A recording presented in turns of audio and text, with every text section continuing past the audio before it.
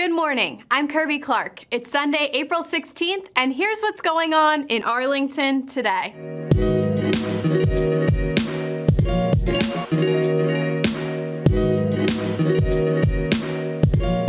If you like working outside, come help remove invasive plants. Volunteers are welcome to help reclaim the natural area around Long Branch Nature Center from 2 until 4.30 p.m. If you haven't yet checked out Artomatic, it's open from noon till 10 p.m. today and features amazing art by hundreds of artists from all around the DC area. It's free and runs Wednesdays through Sundays until May 6th. Tomorrow's Open Door Monday will be held at Central Library. Stop by between 7 and 9 p.m. to chat with a board member about county issues.